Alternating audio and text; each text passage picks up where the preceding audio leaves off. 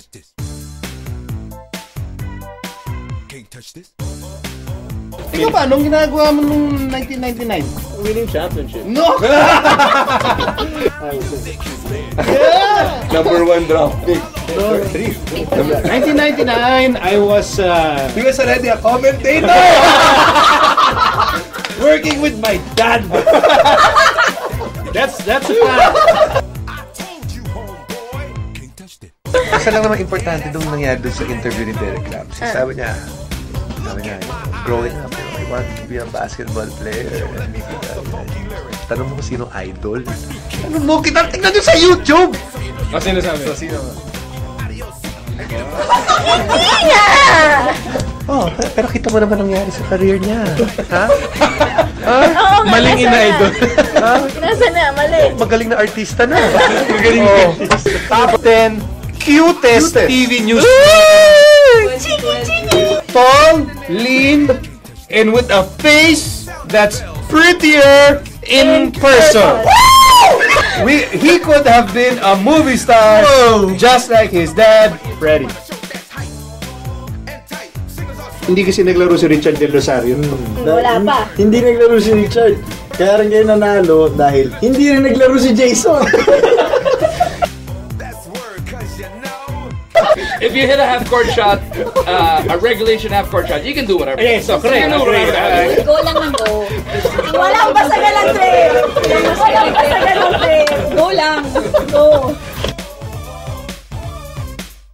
Tito, yan, yan, Ito yan. yan. Panawagan. Coach Tito Chot, ah, may gusto sabihin si Jai. Kasi sa totoo lang, nung na-injure lahat ng, ng players mo, no, lalo na nung si Jimmy at si Jason yung na-injure, talagang sumama yung loob ko nung hindi mo man lang ako natawagan kahit mag-practice player lang sa inyo eh. I believe! I thought, that just thicker than water, you know, Sticker than shoes, you know? Jai, nandiyan ka ba sa loob? Sandali, sandali, sandali na! Nasaan si Jai? Di ba ikaw si Jose, yung kapatid niya? Magkapatid niya talaga. Alam mo, magkapatid nga. Ang kapal ng mukha eh! Sige, anong gusto mo sabihin sa, ku- ano, sa kapatid mo? Sa kuya mo. Brotherly advice. Oh.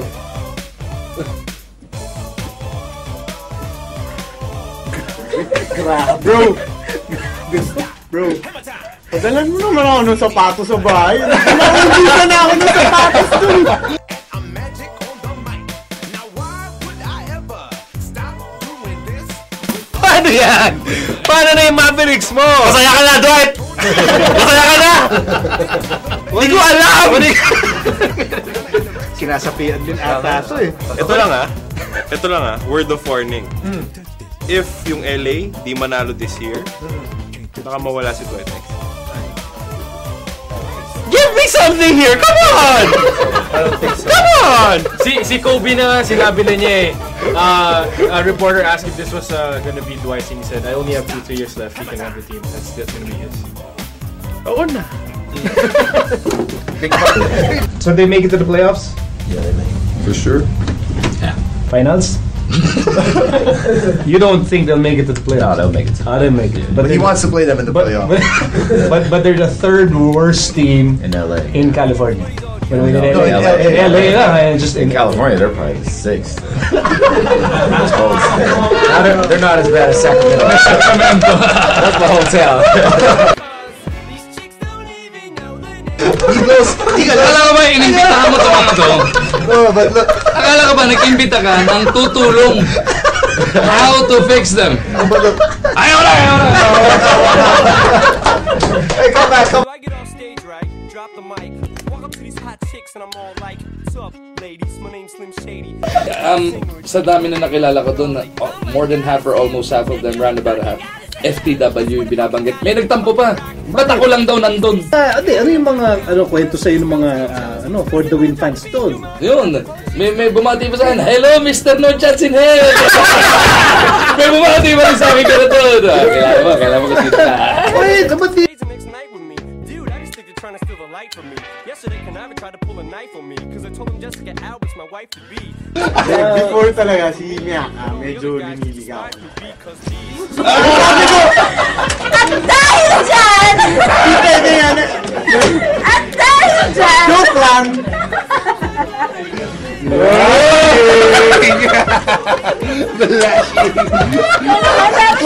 May intriga tayo! Bakit di? Pasok kasi ni Pamboy para mo intention to hurt Batok, batok na tinulak. Gusto niya yata i-chokes lang, may kaso na. Alam mo, Nakakahalata na ako kay Doug, ha? Marami na siyang pamuntik-muntik na bago eh. Parang na, hindi nakakalimot si Doug eh. Hindi, di ba? Tinatagong Oo eh. No chance. Ayun eh. Parang kaya, kaya pala eh. Kaya pala excited na excited si Doug pumunta dito. Kino siya kasi mag Kaya tinanong ako eh, ano umigo, 1 o'clock? 12 o'clock ka dyan na ako. I think everyone got 12 to 15 minutes equal. And uh, yeah, tupal nga tayo. Doug, mamaya ka na. Sabi sa akin ni Charlie, si close kami. Doug, mamaya ka na. Sabi ko, o sige, basta pasok mo kumunti. Mas matagal kaya minutes mo sa iba. Si best friend mo. Sino si Alex? Ah, galing, galing mag-rap. Oh, you were the coach of which team, Swatch? The losing team, unfortunately. It was his play where Ashi threw the ball. Oh, yeah, yeah, I do that. Over. Siya Yeah, yung I- I told- nun. I told him to pass it to the... Yeah. How was it, uh, how was it covering the game? Kasi alam ko, uh, in between the game, kinakausap niyo yung mga players, yung mga celebrities. Oh, actually, Mga kasama ko to sa FTW, hindi man lang ako in-interview. Ginano eh. Pinili na cele- celebrity ka ba daw?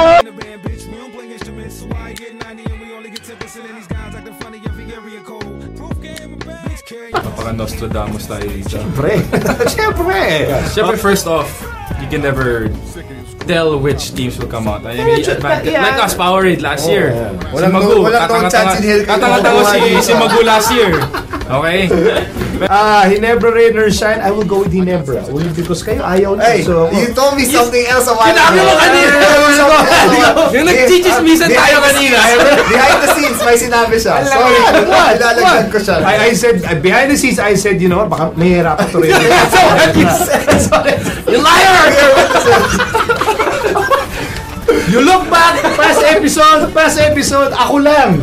Ako lang ang pumili sa Hinebra as the most dangerous playoff team. Ako lang. What a suck up to the fans! That's the only one. Nung di ano, I don't know what these guys are talking about. Do you have proof? You don't have proof. witnesses. Our word versus Ah, wala, you don't have proof. So, so who, who's the better one-on-one player? James or Paul?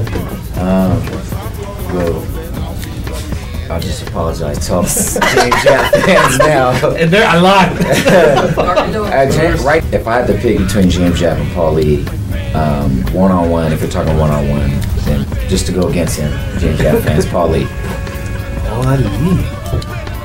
Ooh, wee. Ayan, uh, at mark my words.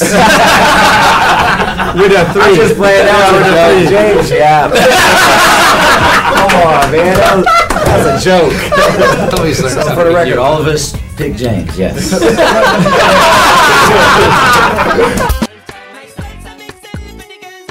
Wait, wait. Chris, ikaw ba yan? Teka, di ko makita ng tama. Wala naman, wala naman pimple si Chris. Hindi, mga ate. Hindi po yan si Cristo. Huwag kayong papalin lang dyan. Come here, Come here. Yeah, let's ask, let's ask, ano, let's ask Here's my baby Ken Ken. Ken Ken, This is Dora. this, do you know Chris Chu? One of the few.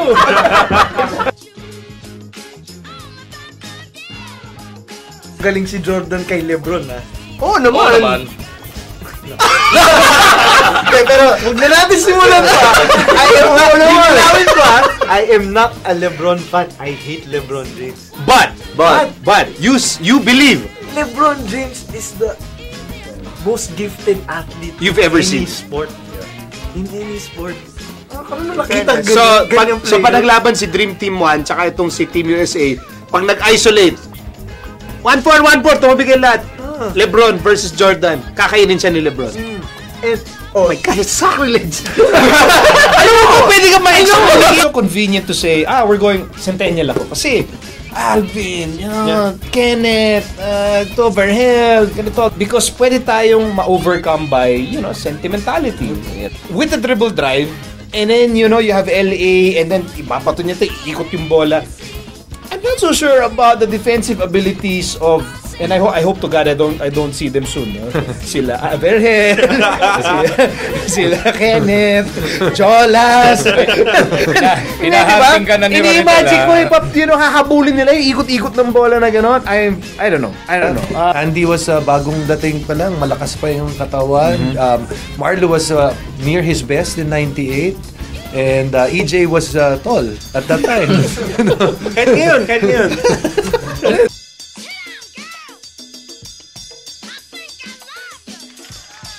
Ay, syempre nagulat ako. Bakit? Ha?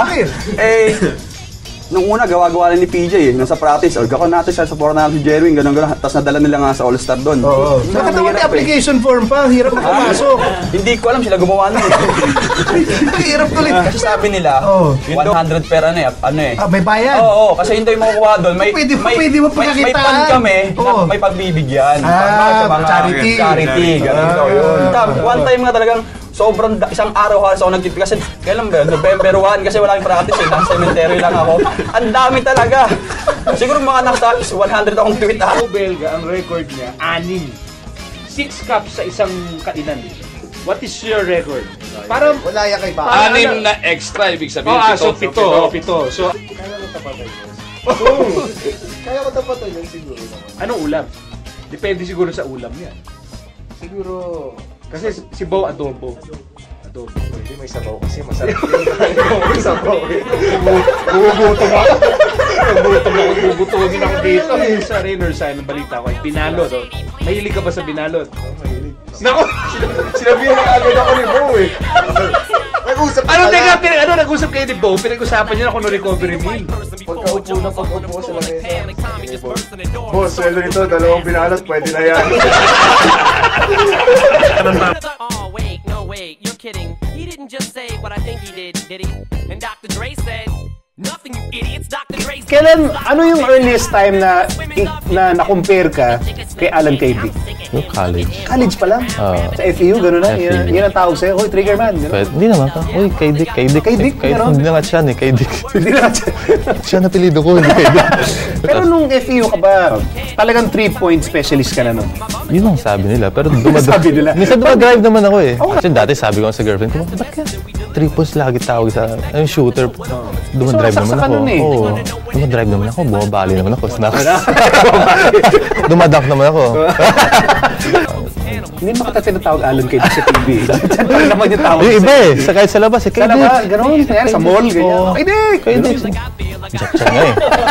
Jeff Chan nga. Minsan hindi ko na pinapansin eh.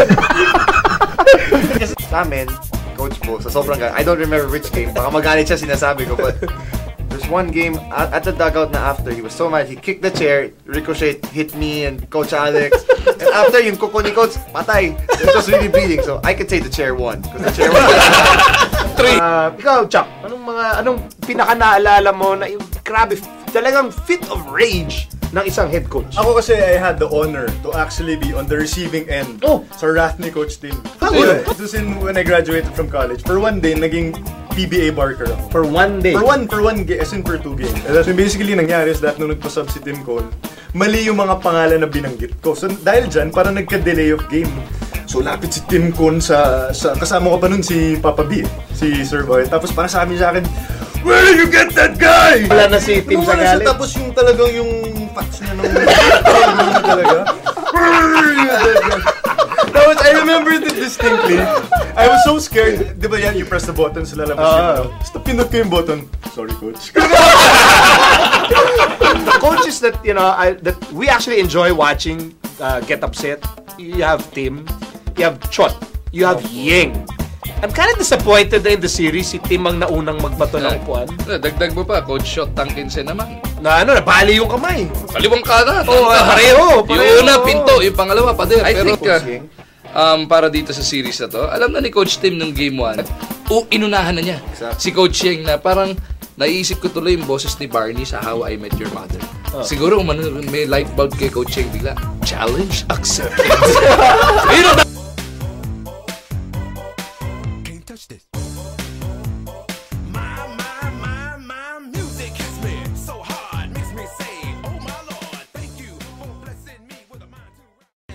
I feel like I got the best job on, on television because first of all, you guys are like brothers. Ernie, your older brother, but much older, much older.